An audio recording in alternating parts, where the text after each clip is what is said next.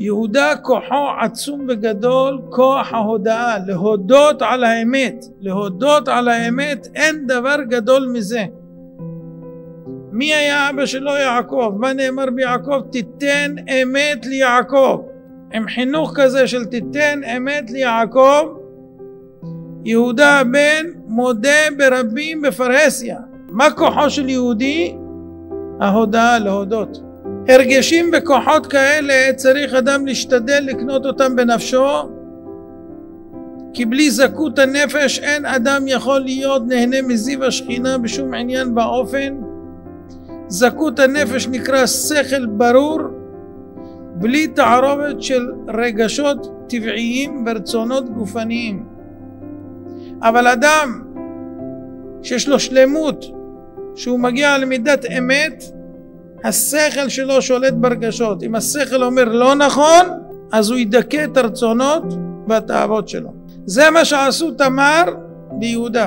היא מוכנה להצטרף. מה פירוש את מוכנה להצטרף? הרי את היית צנועה, מעידה אליך התורה שהיית צנועה מאוד. בשביל זה זכית לתאומים שביניהם פרץ שממנו יצא מלך המשיח. הרי לא נתנו לך את זה מתנה סתם. אז אם את כזאת צנועה, והסכמת לעשות דבר שהוא חרפה ובושה לעמוד בדרך בפתח עיניים כדי להעמיד זרע קודש מיהודה. וזכית ואת הרה לו כבר. אז איך את מוכנה לוותר עכשיו על חייך וחיי ילדייך כדי שהוא לא יתבייש? אתם שומעים?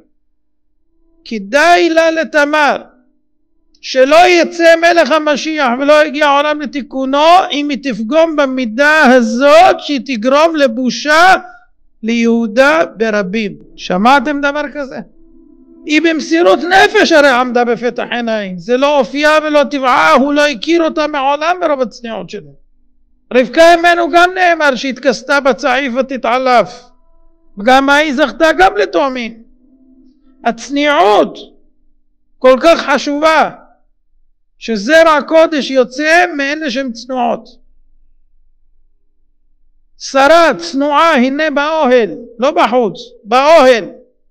מה היא זוכה לבשורת יצחק, יוצא ממנה יצחק. צניעות. איזה גדלות. רק אנשים כאלה שהם אמת לאמיתה יכולים להעמיד את מלך המשיח שיגאל את העולם מהשקר הנורא שהוא חי. העולם חי בשקר, שקר בועה של שקר לא יאומן כי יסופר איזה בועה. בלוף. האמת תהיה נעדרת, צריך לעדר, לעדר, לעדר עמוק באדמה, ואז למצוא. כתוב אמת מארץ תצמח. אז איפה היא? למטה באדמה. אתה רוצה שהיא תצמח? תעדר, תעדר. האמת תהיה נעדרת. אם אתה מחפש אותה למעלה ככה מלמעלה, לא תמצא. אבל מה מצפים מאנשים שחיים בחברה שכולה שקר?